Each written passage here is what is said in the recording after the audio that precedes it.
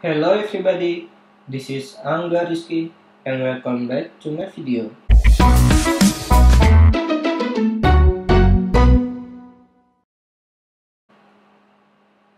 In this video, I will introduce the Bootstrap framework. So, we will learn about the Bootstrap framework. I will let you know guys about this framework. Bootstrap is the most popular HTML, CSS, and JS framework for developing responsive mobile-first project on the web. Okay, so if you want to make the responsive web design, you can using the Bootstrap framework. This is uh, free, okay?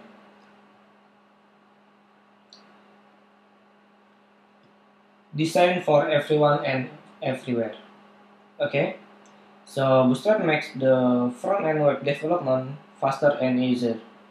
You just need to use the component from a Bootstrap framework. Then you can make it easy and fast. Okay. Okay, guys. So Bootstrap is available to CSS, components, JavaScript. Okay, there's so much uh, three elements to developing your website using this framework. Okay, we going to getting started. Now, you can download the Bootstrap. If you have now download this framework, you can download the Bootstrap right here in the menu of getting started. Now you can see the download bootstrap right here. And then we will install the bootstrap in the next video. Okay? And we have the basic template right here. If you if you want to create the basic template you can using this basic template from a bootstrap framework okay? And over here we have the css this uh, this is like a component from a bootstrap. This is uh, for responsive and typograph. And the important things you need to know is grid system Bootstrap have has uh, 12 columns where you can divide them by by the class is col md, col md, and col md. Okay, so the the example I have 12 columns and I will and I will divide it to three columns.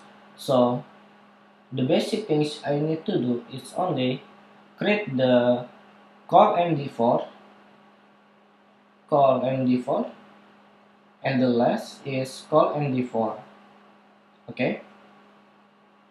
So the total is 12 columns 4 4 and 4 it means 12 columns okay?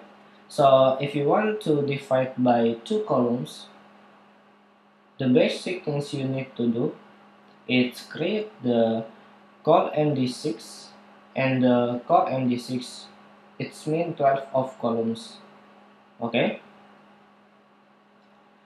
How to use it it like this. It, you just need to create the div class row and then you just need to create the col md8 and col md4 the total is 12 okay.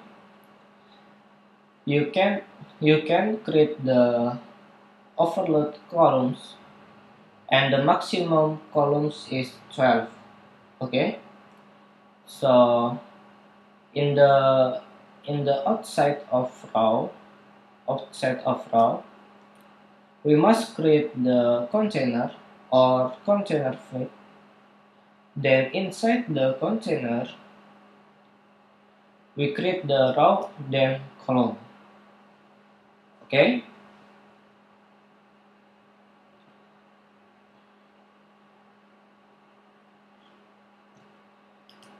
And the typograph. Bootstrap using the roboto font from uh, google fonts. This is for uh, header 1 header 2 header 3 and uh, next. Okay and have the fonts right here.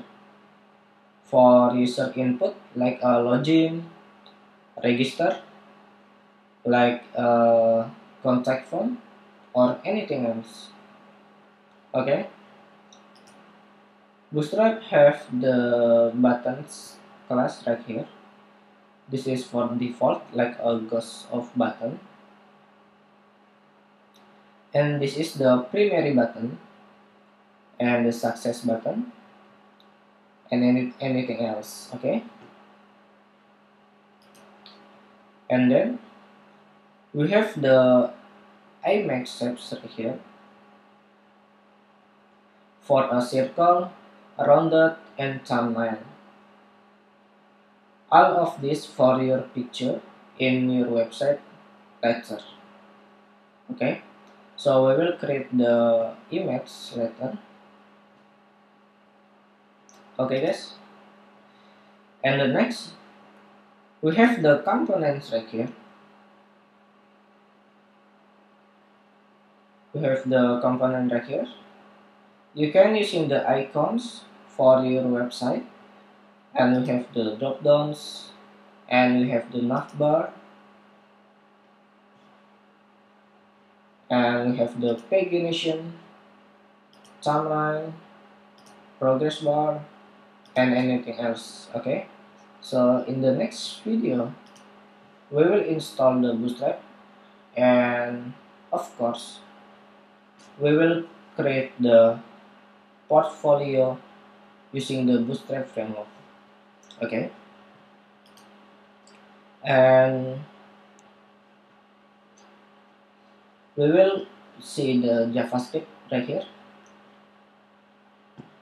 We have the transition we have the slider right here and we have the tabs. And so much anything else guys okay. It's only uh, introduction about the bootstrap okay. So I think it's enough you just need to download the bootstrap right here and install it in the next video. Or you can using the my project. I have prepared the, my project for you so you don't need to download again. You just need to download from my Google Drive. Then we can run using the My files from me. Okay? Okay guys so I hope you can understand this tutorial. And if you have a question please let me know. And don't forget to subscribe or leave a comment or a feedback. It's make it's make me to improve my skill or my language okay? So see you and goodbye